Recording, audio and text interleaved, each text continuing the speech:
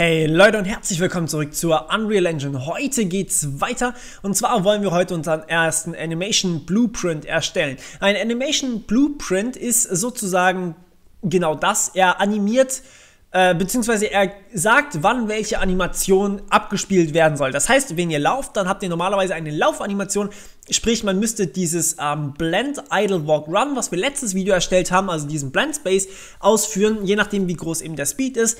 Und wenn ihr springt, dann soll eine Sprunganimation ausgeführt werden und nicht irgendwie umgekehrt. Das heißt, wenn ihr vorwärts lauft, soll jetzt nicht irgendwie gerade die ähm, Sprunganimation gestartet werden. Das ist ein bisschen blöd sonst ähm, und das ist genau die Aufgabe von so einem Animation Blueprint. Ähm, überlegt euch mal, wie viele Animationen so ein Charakter hat, also mit Sprechen, Handbewegung, irgendwelche Sequenzen und so weiter und dann überlegt euch, wie komplex das Ganze werden kann. Das ist schon ziemlich krass.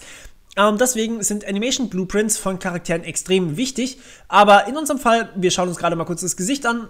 Ähm, der hat ungefähr so viele Gesichtszüge wie ein Amboss und deswegen wird das nicht ganz so kompliziert werden. Wir wollen einfach nur laufen und wir wollen springen. So, als erstes äh, dieser Animation Blueprint unseres wunderbaren Charakters, der schon existiert, weil wir im Third-Person-Template sind.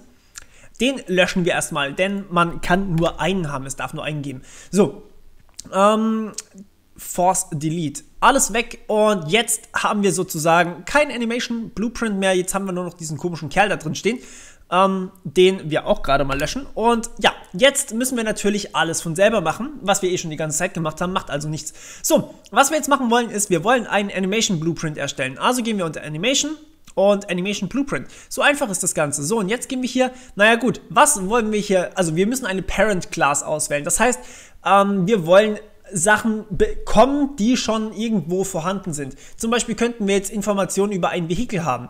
Ähm, wir könnten aber auch dieses Tutorial nehmen. Tutorial ist natürlich nicht gerade in unserem Sinn. Wir könnten auch dieses Proto nehmen, das ist aber irgendwie komisch, das hört sich seltsam an. Also nehmen wir einfach die Anim Instance. So, Animation Instance. Und Animation Instance bedeutet, naja, wir wollen äh, zu einer gewissen Instanz einer ähm, eines Skeletts wollen wir ein Animation Blueprint machen. Das heißt, wir wollen für ein Skelett die Animationen festlegen, wann welche abgespielt werden wollen. Und dazu nehmen wir einfach dieses wunderbare Skelett und klicken auf OK. So, und jetzt haben wir unseren New Anim Blueprint. Ähm, diesen Blueprint nennen wir jetzt einfach mal äh, Anim Blueprint. So, fertig. Okay, ähm, und ja, jetzt können wir den aufmachen, ganz normal. Aber wir sehen hier irgendwie seltsame Felder. Ähm, wir sind jetzt hier oben, Achtung, wir sehen es hier, Skeleton, Mesh, also Skeleton und Mesh sollten euch schon bekannt vorkommen. Auch dieses wunderbare Material, was wir hier draufgelegt haben, dieses Schwarz übrigens, also das komische Schwarz, was da drin ist, ist schon da, damit wir hier zum Beispiel diese ganzen schwarzen, feinen Ecken haben. Das ist ziemlich cool. Um, ähm, aber ja, das hatten wir alles schon das letzte, oder nicht das letzte Mal, aber schon eine Weile her besprochen. Unter Animation, also ist ganz normal eigentlich Persona, unter Animation findet ihr erstmal diese komische Hüpfanimation.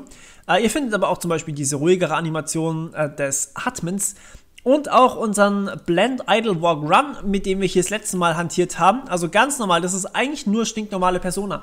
Aber was wir jetzt hier dazu bekommen haben, weil wir es gerade erst erstellt haben, klar, davor war auch schon hier Blueprint angezeigt worden, aber das lag daran, dass wir eben schon diesen Blueprint aus dem vorherigen Mal, äh, aus dem, aus dem, äh, aus dem Blueprint, äh, nicht aus dem Blueprint, aus dem Vordruck hier sozusagen, aus dem Third-Person-Template, so jetzt habe ich das Wort, ähm, haben wir ja schon einen Blueprint gehabt. Das war deren Blueprint. Wenn ihr hier nichts seht, dann liegt das daran, dass es noch keinen Animation Blueprint bei euch gibt. Ähm, das macht aber nichts. Ihr könnt natürlich so einen erstellen, wie wir es gerade gemacht haben. So, und jetzt ist natürlich immer die Frage, welche Animation Pose, also wie sieht der Charakter, wie sehen die Skelette, wie sehen die ganzen Knochen aus, All das kriegen wir hier rein. Ihr seht, wenn ich hier drüber fahre, ist im Prinzip wie bei einem Blueprint. Ähm, wir haben hier eine Notiz und wir haben hier so ein hübsches Männchen, was rumläuft und das Ding heißt Final Animation Pose. Aber was hier wichtig ist, wir haben hier als Input, und das ist immer das Wichtigste, das muss jedes Mal, jedes Frame quasi neu gesetzt werden, eine Animation Pose.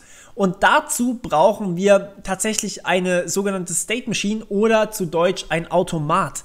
Ähm, jetzt ist das natürlich ein riesiges Thema. Man kann sich da zu Tode reden. Es gibt keine Ahnung, Vorlesungen über Informatik, Automaten, äh, komplett 50 Vorlesungen dazu, 20.000 Bücher gefühlt. Ähm, wir wollen hier nur die Basics haben und Basics von Automaten sind eigentlich recht einfach. Ihr habt ähm, solche komischen, ich zeige es euch einfach mal ganz kurz. ähm, wir wollen, nein, so wollen wir das nicht machen. Ähm, wir wollen hier einen neuen Automaten erstellen im Prinzip. Machen wir das nächste Video, glaube ich, erst. Ähm, und dann haben wir mehrere Stationen sozusagen und Übergänge zwischen diesen, zwischen diesen Stationen. Das heißt, wir haben mehrere Zustände und eben diese Übergänge. Das heißt, ein Zustand ähm, ist zum Beispiel hier so ein Quadrat und hier nochmal so ein Quadrat. Ein Zustand wäre idle zum Beispiel, ähm, da steht er einfach nur rum. Der nächste Zustand wäre, er fängt an zu springen. Und dann noch ein Zustand, er ist in der Luft am Springen gerade. Der Zustand danach, er ist am Landen gerade und danach läuft er einfach wieder, beziehungsweise ist am Stehen. Solche äh, Animationen sind im Prinzip da und wir werden uns das jetzt das nächste Mal angucken, wie wir eben diese Animationen ineinander überführen können.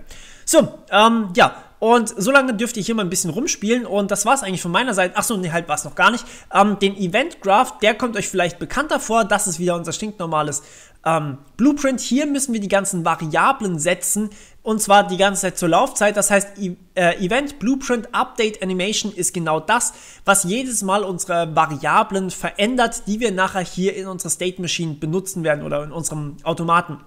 Okay, ähm, das war jetzt relativ viel, ähm, was da alles auf euch zukam, ich weiß. Aber ja, ähm, ihr dürft das Ganze nochmal verdauen und das nächste Mal gucken wir uns das Ganze dann in der Praxis an. Ich hoffe, das reicht erstmal für dieses Mal und ja, ich will euch nicht überfordern. Wir hören uns beim nächsten Mal. Bis dann, ciao.